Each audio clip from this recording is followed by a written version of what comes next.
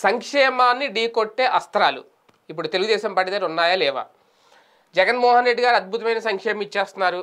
జగన్మోహన్ రెడ్డి గారు ఇచ్చిన సంక్షేమానికే మళ్ళీ ఓట్లు పడతాయి అని అనుకుంటే ఆ సంక్షేమాన్ని ఢీకొట్టడానికి అంతకు మించిన అద్భుతాలు తెలుగుదేశం పార్టీ వస్తే చేస్తుంది అని ప్రజలు అనుకోవడానికి టీడీపీ దగ్గర ఉన్న ఆయుధాలు ఏంటి ఇప్పటికే ఒక్కొక్క అస్త్రాన్ని సంధించడం మొదలుపెట్టారు నారా చంద్రబాబు నాయుడు గారు అనేది. ఎందుకంటే మన కుప్పంలో ఆయన ఫస్ట్ టైం చేశారు ఈ సంక్షేమానికి సంబంధించి ఒక హామీ ఒక ప్రసంగం. మేము కూడా సంక్షేమాలు ఇస్తాం. అంతకంటే అద్భుతమైన సంక్షేమాలు ఇస్తాం. ఓకే బాగుంది అంతకైనా అద్భుతం. ఆ అద్భుతాలు ఏంటో ముందే చెప్పాలి. ఒక టైం ఉంది రేపు మేనిఫెస్టోలో చెప్తారేమో అవన్నీ మేనిఫెస్టోలో పొందుపరుస్తున్నారేమో. ఇప్పుడు జగన్మోహన్ రెడ్డి గారు ఇస్తున్న ఈ సంక్షేమ పథకాలు ఒక అమ్మఒడి కానివ్వండి విద్యా దీవెన కానివ్వండి విద్యా వసతి దీవెన కానివ్వండి లేదంటే ఆటో కార్మికులకు ఇస్తున్న వాహన మిత్ర కానివ్వండి ఇటువంటివన్నీ చాలానే ఉన్నాయి పథకాలు జగన్మోహన్ రెడ్డి గారు ఇస్తున్నాయి.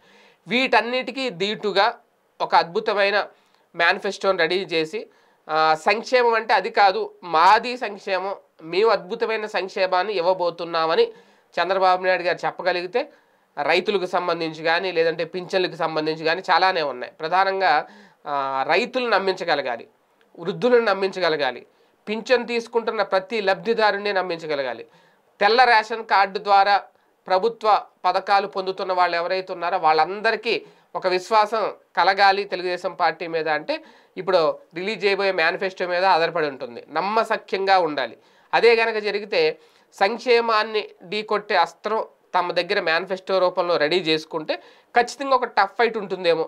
ఆ, ఎలాగ వ్యతిరేకత ఉంది జగన్మోహన్ రెడ్డి గారి ప్రభుత్వం మీద అనుకున్న టైంలో ఆ వ్యతిరేకత తమకు అనుకూలంగా మార్చుకోవాలన్నా పూర్తిగా ఓటింగ్ని తమ వైపు తిప్పుకోవాలన్నా ఇదే ఒక మంచి సమయం. కాకపోతే సంక్షేమానికి ఒక ధీటైన అస్త్రం ఏంటి అంటే అన్నా క్యాంటీన్ అని ఒకటే భావిస్తున్నారు.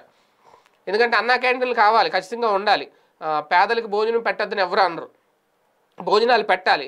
కాకపోతే రాజకీయ దురుద్దేశంతో పెట్టకూడదు.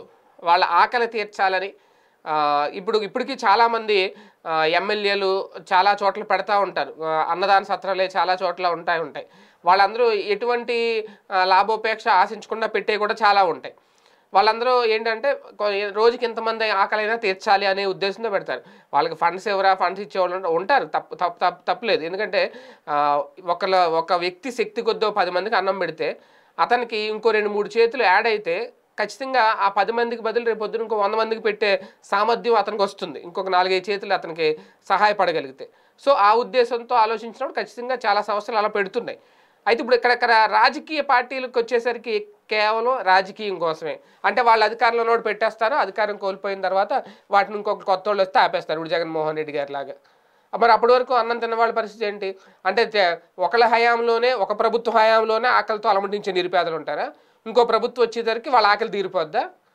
ఏమో ఈ సంక్షేమ పథకాల ద్వారా తీరిపోద్దని భావిస్తున్నారేమో జగన్మోహన్ రెడ్డి గారి ప్రభుత్వం లాంటిది.